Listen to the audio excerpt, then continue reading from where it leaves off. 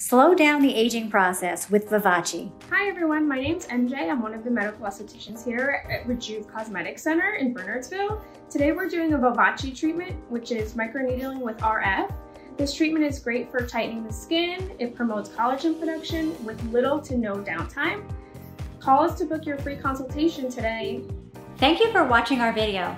Please like and subscribe to Rejuv's YouTube channel to learn how you can grow younger with us and visit us at rejuvcosmetic.com. Thank you.